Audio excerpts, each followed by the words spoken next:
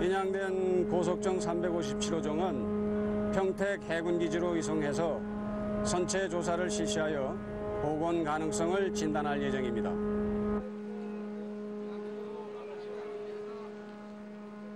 예정된 기간보다 다소 단축을 시켰습니다. 그러나 작전 중에 우리 대원들이 아홉 명이나 잠수병이나 잠수병이 걸리는 그런 고난도의 작전이었다고 생각합니다.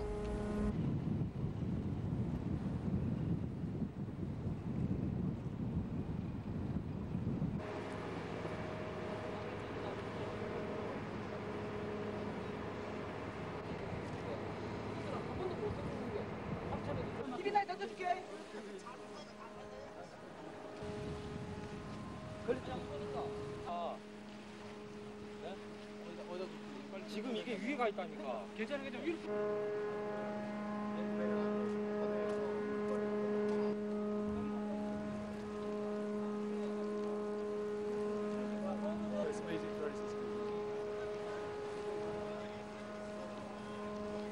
위험하더라고 내가 보기엔. 바지를 댄 다음에 그다 개고 근데 빠지면 대문은